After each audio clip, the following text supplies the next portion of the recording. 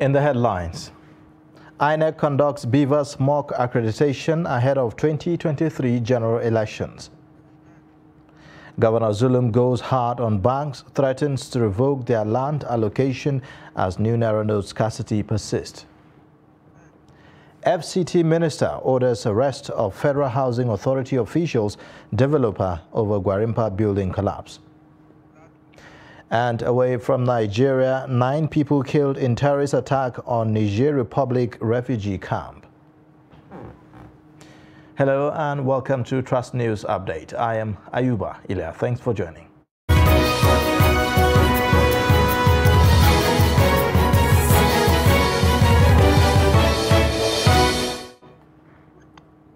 And now the details. Ahead of the February 25 general elections, the Independent National Electoral Commission rolled out mock accreditation exercises across the Federation on Saturday. Now, the mock accreditation was organized to check the lapses in its bimodal voter accreditation system and make necessary adjustments. In Kano, officials and stakeholders described the exercise as satisfactory.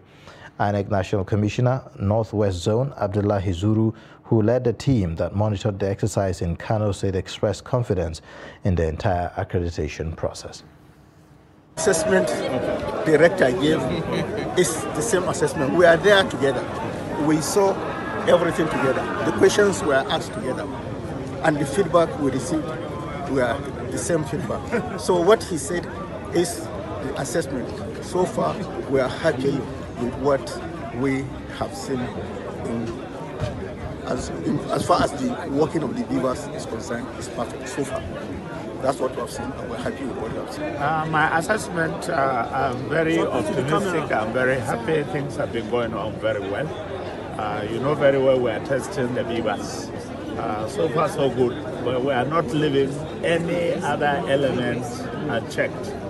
So until we go around and get the report from all the 12 places where we are testing and we get the aggregate report. But so far so good. The procedure is being followed. Uh, the BVAS is efficient. Uh, we are very encouraged and we hope on election day, uh, by the time we look at uh, those gaps and address them, uh, we will be good to go. Meanwhile, the mock accreditation exercise conducted by the Independent National Electoral Commission ahead of the 2023 general elections was successful across the 12 polling units of Nasarawa State. Abubakar Abdullahi, who monitored the exercise, sent in this report as presented from our studio. The Independent National Electoral Commission INEC mock accreditation exercise for voters was carried out simultaneously in 12 polling units across six selected local government areas of Lafia, Awe, Karu, Nasarawa, Nasarawa Eggon, and Wamba. Trust TV observed that while INEC mobilized staff for the conduct of the exercise, voters complied by visiting the selected polling units for machine capturing. Ibrahim Jabiru and Fatima Umar were among those accredited at the Shabu Tagabas polling unit of Shabu Kwandere electoral ward in Lafia local government area. They expressed satisfaction with the exercise. So I received a test from INEC that I should go for session unit, only unit 03. Aisha Tagabas. That's what I'm here for. And I've tested successfully. So I'm appreciative for that. I didn't waste my time. I'm not wasting time up to one minute. And it's done successfully. All right. So that I've been doing during the election. People would appreciate it. I came for the mock accreditation and it didn't take a long time to be captured. In fact, I was captured in less than a minute. INEC resident electoral commissioner in Nasarawa State, Usman Ajidagba, who monitored the exercise, speaks. Uh, the exercise is uh, going smoothly and we are very impressed. Uh, there has been orderliness. The fact that people are even eager to come out for the mock accreditation shows that uh, people are eagerly expecting the, the real election. and people are ready. We have gotten report from uh, Karu local government, and uh, the report has uh, been very impressive. We are happy about the report. There was a massive turnout. And, uh, those who pretend to be accredited, so, and there was orderliness. Yes. The INEC commissioner further expressed the commission's readiness to ensure that modalities are in place to deliver a credible and acceptable 2023 poll. Borno State Governor Babagana Zulum has directed banks to dispense the new Naira notes via automated teller machines and banking halls or risk losing their lands to the state government. Zulum gave the warning after visiting banks branches in Maiduguri, the state capital, to assess challenges faced by residents in accessing new Naira notes. Before the declaration, Zulum said that he was unhappy to see hundreds of people queuing at an ATM point where only one out of the 10 machines was dispensing cash. The governor urged the Central Bank of Nigeria to ensure the availability of the new notes at the commercial banks to enable people to access their money. Now, the crisis rocking the issuance of the new Naira notes is far from over as residents of Bauchi State are yet to understand why commercial banks are having a hard time complying with the CBN's directives to issue the notes over the counter. Some customers who spoke to Trust TV expressed dissatisfaction with the attitude of banks towards issuance of the notes despite being ordered to do so. Adamu Imam reports. The Central Bank of Nigeria recently directed commercial banks to commence the issuance of new Naira notes at the counter to cushion the effect of Naira shortage occasioned by the redesigned notes. Many believe that staff of the banks are not helping the situation as queues to access cash still persist. The CBN says it deposited enough money into banks here in Bauchi State. So why is it that in some banks, even if you enter, they only give you 20,000 naira in a day, while at the ATMs, while at the ATMs, some people spend the whole day this is not good for Nigerian masses, to be honest. Even if the banks receive enough cash from CBN, we are yet to see the money because I entered the bank and they told me they will give me only 5,000 naira. But I saw them giving someone a huge amount of money. When I asked, they said it is their staff. I believe this is too selfish of the banks. We expect that government should help the masses, not the other way around. That this policy is for the poor people and is targeted at improving our economy, they should increase the withdrawal limit so that people will not be subjected to this hardship.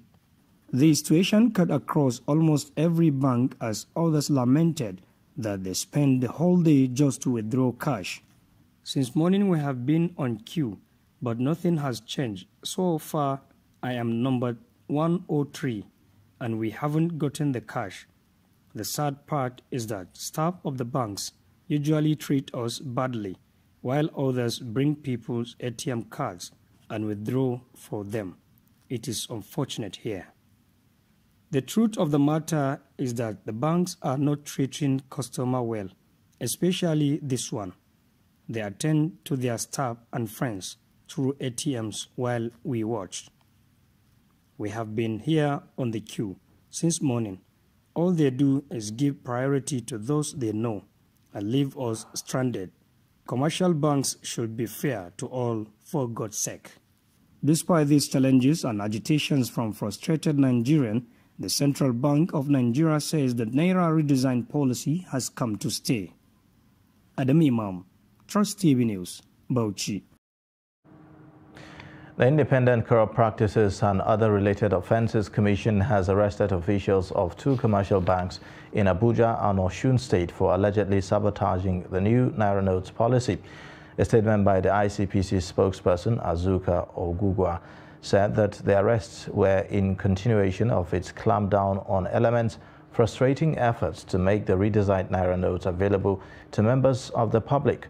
Ogugua said an Abuja-based bank official was taken into custody for her deliberate refusal to upload cash into her branch's automated teller machines though the cash was said to have been available and people were queuing at the ATMs.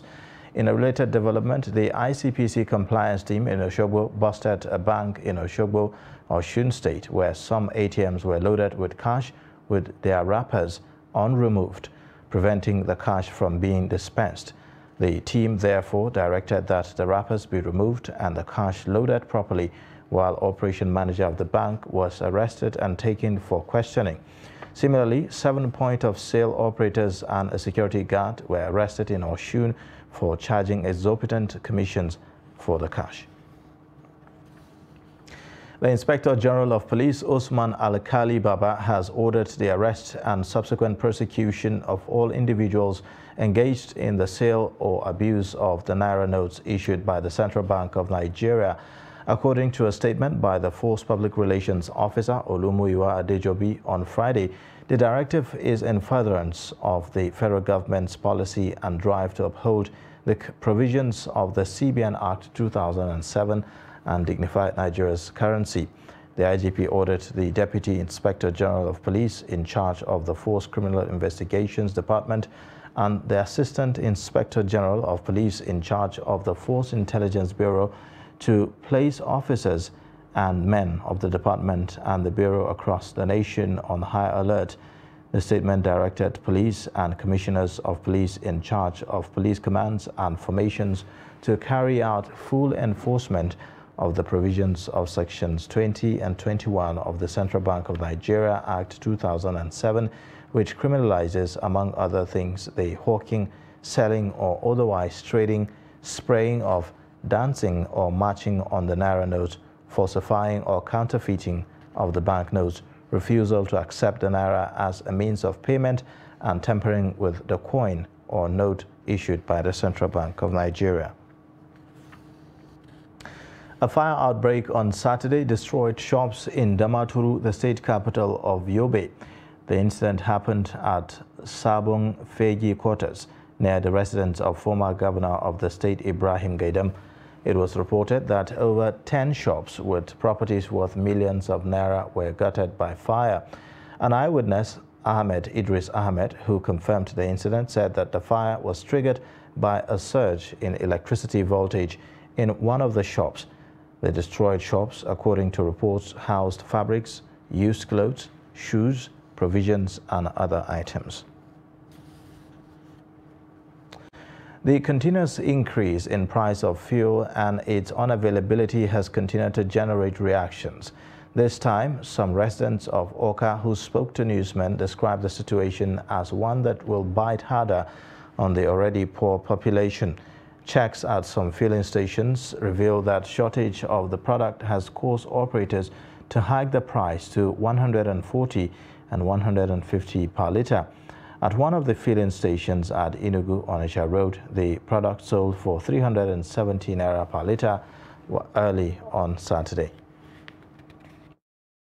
It's now been funny for a couple of days, ever since they started the change of the old Naira notes to the new Naira notes. Inflation has been the order of the day. People are suffering, people are going through a lot the currency, this Nigerian currency, I don't know how to explain it. It has opened door to so many forms of hardship to people. The fuel subsidy affects us so bad, really the transporters. First of all, getting a fuel is the is issue. Secondly, getting money to buy the fuel is also issue because when you buy fuel at high rates and you go out there to pick passengers, they don't agree to the price you tell them because things are hard. What for the person that will give up Nigeria, new Nigeria? That is what everybody is. Somebody that will give know the, the, the feeling of the masses. What the masses need. There is hunger, food scarcity, money scarcity, no work. You're watching the news update on Trust Television. Coming up shortly. We'll take a look at how Ruga settlement keep nomads in Katsina. Details of this and more after the break.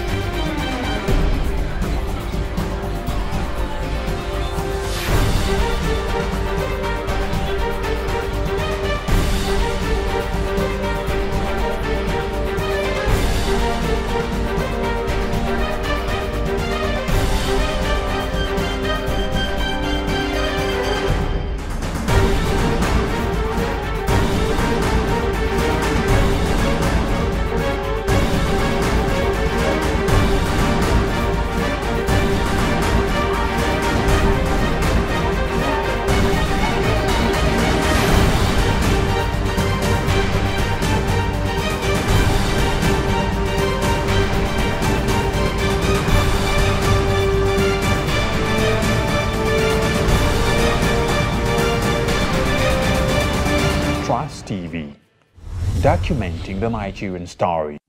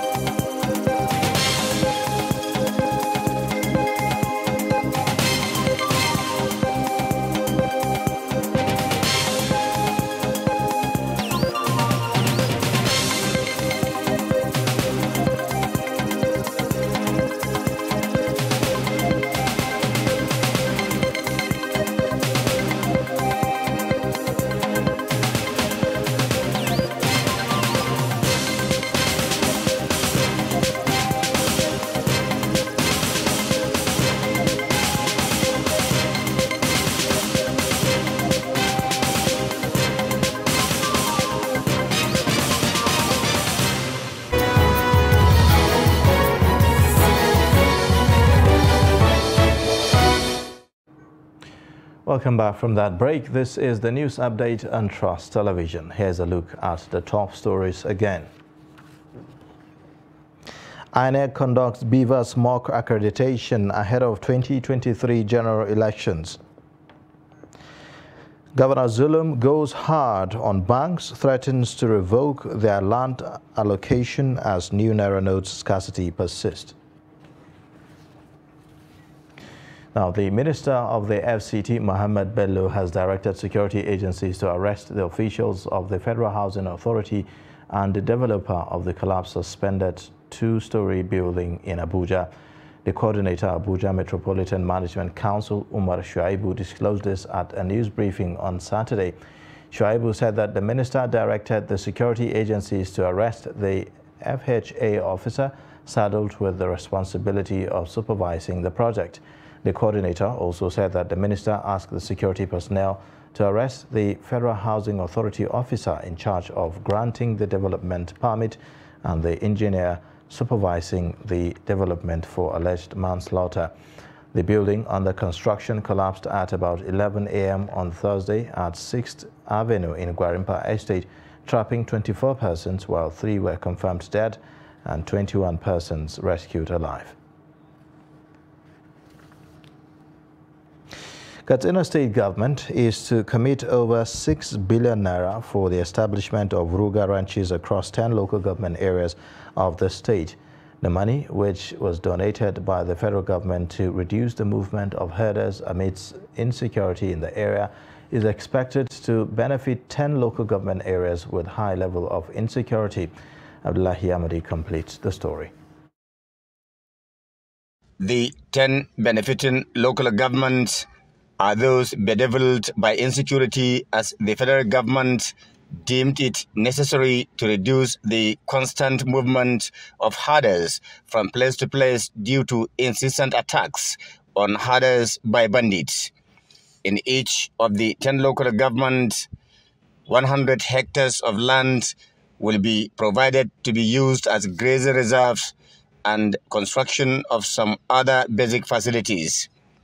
Among the facilities to be put in place include hospitals, veterinary clinic, slaughterhouse, boreholes, schools, dairy markets, and artificial decimation facilities. The purpose of this visit is to confirm and see whether the contractors are ground. Today I'm happy that uh, what I'm seeing, the contractors perform very well. He has achieved almost 40%, 45% what is on ground. So we believe uh, by the next four weeks, almost complete this project. All, all the projects happen with all local governments. So I believe by end of March, first of April, we are opening all these projects, inshallah.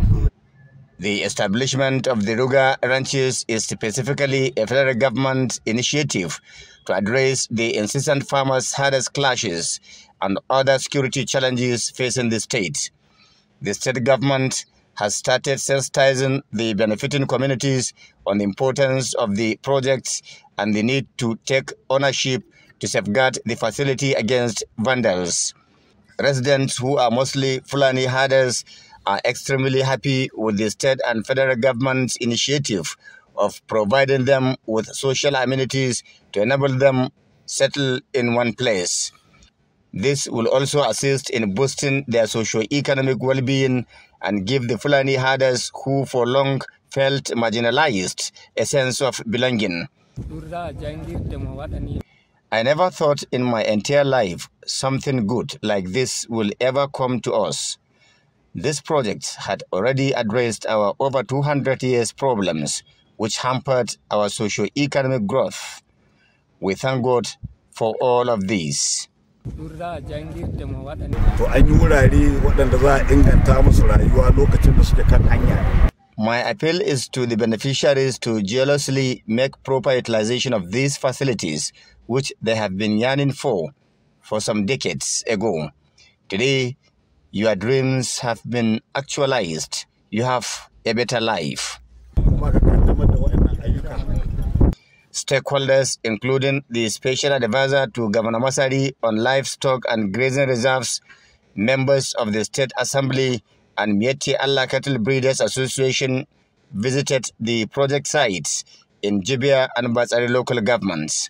Abdullahi Izmayamadi, Trust Television News, Katsina. The president of the Court of Appeal, Justice Monica Dongban Mensem, says that the court has received more than 600 pre-election matters from its 20 divisions from November 2020 to date. Justice Dongban Mensem disclosed this when an EU uh, delegation led by Ambassador Samuela Isopi paid her a courtesy visit in her office on Friday in Abuja the president expressed joy with the visit, which she said provided her an opportunity to engage views, share experiences, and learn from the respective experiences in their countries. According to her, transparency in the electoral process is one of the core values of democratic stability in a nation. She said that the active involvement of election observation missions in Nigeria to ensure free, fair, and credible elections was appreciated. It is pertinent to state that the role of these observer organizations have greatly impacted the resolve to review the Electoral Act 2010, out of which came the Electoral Act 2022, with some laudable innovations to strengthen our democratic policies and ensure credible elections. The Court of Appeal has reviewed, developed, and expanded the scope of working materials for judges on the process. We now have the Judicial Electoral Manual, which incorporates decisions of the Supreme Court and of those of this court on critical fundamental sections of the Electoral Act. The European Union election follow-up mission headed by uh, Mrs. Maria Arena and uh, I remember that on that occasion, you uh, already developed some uh, of the points you raised today. And one of those was really uh, the importance to uh, support the judiciary on building the capacity uh, of, of justice on election-related matters. And I'm glad to say, even if I understand, and of course I agree that it might not have been enough, I'm happy to say that from that meeting, uh, we were able to support the court uh, in the uh, organization of the training of 300 judges. And we also um, have trained secretaries and support staff. Uh, because for us, I mean, uh, this is something that we see uh, as being crucial because we know that it really can contribute improving the electoral process by uh, improving and promoting uh, election dispute uh, um, resolutions. Now, away from Nigeria, heavily armed terrorists stormed a camp housing refugees from neighboring Mali in western Niger and killed nine people. A local official said on Saturday that the attack took place on Wednesday at a camp in the Tahoua region bordering Mali. A security source confirmed the attack without giving any details. Tahoua lies in a zone bordering Mali and Burkina Faso, two countries hit by insurgency and have come under repeated attack since 2017 by armed groups linked to Al-Qaeda and the Islamic State. There are over 61,000 Malian refugees sheltering in Tahoua and nearby Tillaberi according to the United Nations, after the departure of the French soldiers from Mali last year and a pullout soon from Burkina Faso, there will be only 3,000 of the troops left in Niger and Chad to fight terrorist groups. And in sports news, uh, Madagascar pipped uh, Niger uh, Niger 1-0 in the third place match of the ongoing championship of African nations to emerge the tournament's third best team in Algeria. Now, Jean Razafindrakoto's uh, goal was all Madagascar needed to win their first ever CHAN tournament medal as they defeated Niger in the third place game on Friday. This is the first time the two nations have reached this stage of the CHAN. Before the game, the Nigerians, who did not concede a goal until the semi-finals, lost 5-0 against the host Algeria. Madagascar scored nine goals in four games, conceding only three in the process, while the MENA of Niger returns without reward in their fifth participation. And that's a wrap on Trust News Update. You can watch more via all our social media platforms and also on our YouTube live stream. I am Ayuba Ilya. Thanks for watching. Bye for now.